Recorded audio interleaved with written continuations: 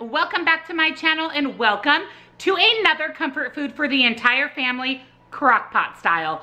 Let me just tell you about this recipe. My husband said this was the favorite recipe that I have made in months. He loved it. He said it reminds him of Thanksgiving dinner. So what could be better than that because it was WW friendly and it was seriously, you guys, so incredibly delicious and filling and com oh it was so good. Definitely family friendly. You have some chicken you've got some mashed potatoes. It was really absolutely divine. So if you want to see what WW comfort food for the entire family slow, slow cooker style I have in store stay tuned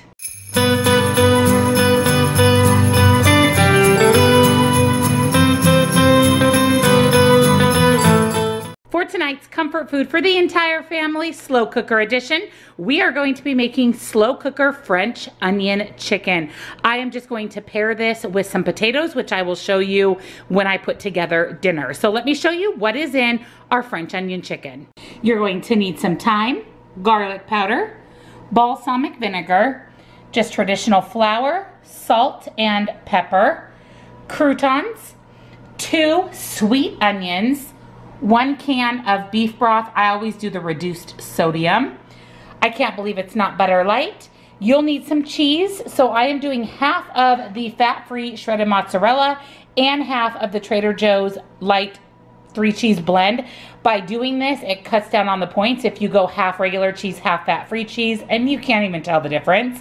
And then, of course, you're going to need quite a bit of chicken. So let's get started on tonight's dinner. The first thing we need to do is slice our onion. So we're just gonna go ahead and take off the wrap here of our onion, the skin, and then we're just going to slice these. And I'm gonna just slice them like you would if you were putting them on a hamburger.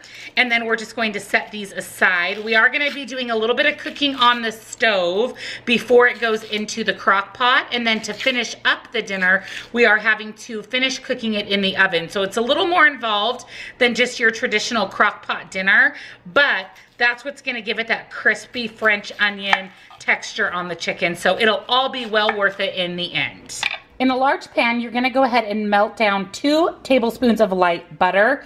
To that, we're gonna be adding in our onions and we're just gonna let these cook down for about five minutes or so, just until they start to become translucent. They don't have to cook all the way through, but we do want them to start being a little bit more translucent.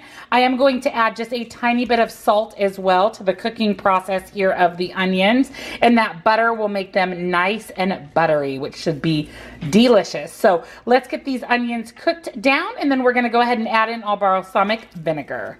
So my onions are looking really good. They're becoming pretty translucent. So I'm gonna go ahead and add in two teaspoons of balsamic vinegar. And I'm just going to stir the onions up with that. Make sure your onions get nice and coated with that balsamic. We'll let it simmer here on the pan for just a couple of minutes. I went ahead and added my four breasts of chicken to my crock pot, seasoned them with salt, pepper, thyme, and garlic powder. To my chicken, I am going to go ahead and add in that yummy onion balsamic vinegar that we just cooked down, and then we'll be adding in our beef broth. So I have my onions with my balsamic mixture over my chicken. To that, I'm gonna go ahead and add my entire can of beef broth. And then I'm just going to give this just kind of a quick stir. Just make sure those onions get nice and coated in that broth. And then we are ready to put our crock pot here on low for five to six hours. When that time is up, we will come back and we're gonna do a little bit of cooking in the oven. So I'll see you in five to six hours or five to six seconds.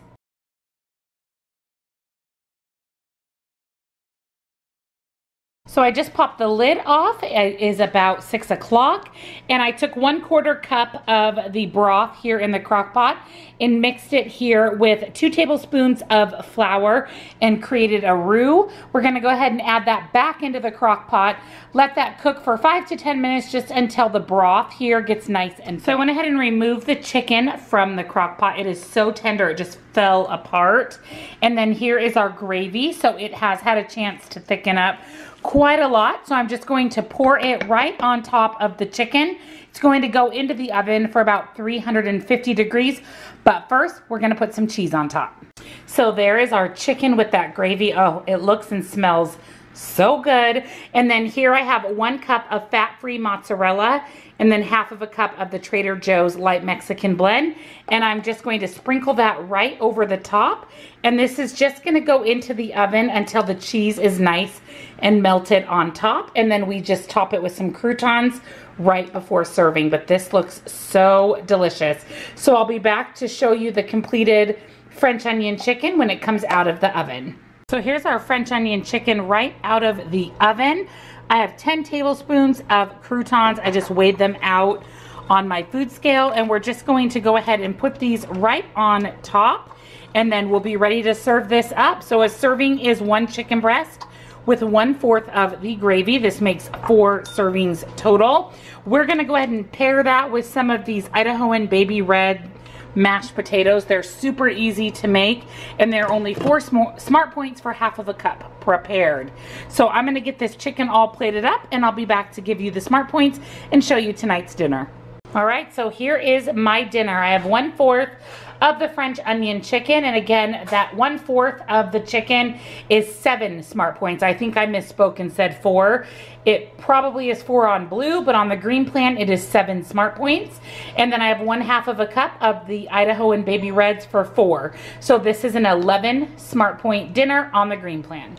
Thank you for joining me on another comfort food for the entire family, all out of the slow cooker. This French onion chicken was so good with those croutons. It was seriously amazing. Highly recommend the use of the sweet onions. I could definitely taste that sweetness in the recipe, so I highly recommend that you pick up sweet onions for it. Also, the mashed potatoes were great. They were really, really reminiscent of real mashed potatoes, and you can't beat the Smart Points. Such a delicious, filling, satisfying meal. My husband is obsessed and has asked that I make it again. And it was easy because it was in the crock pot. Super, super easy. So if you wanna know the recipe and any modifications I made, it is linked down in the description box below, as well as all of my discount codes and websites, links to all of my favorite things. So definitely check it out. If you're not part of my Facebook group, head on over to that as well. We have almost 11,000 members and it's such a great, positive, supportive place to be. I will have it here on the screen for you and the link to join directly is down in the description box. So if you're new, welcome to Jenn's WW Journey. I hope you subscribe and stick around. Hit that little bell so you're notified whenever I upload a new video. I'd love to have you be part of my YouTube friends and family. And of course, thumbs up this video if you're all about slow cooker easy dinners and comment down below and let me know if you're gonna give this a try for your family. I promise you guys, they're gonna love it. Thank you so much for watching and I'll see you all next time.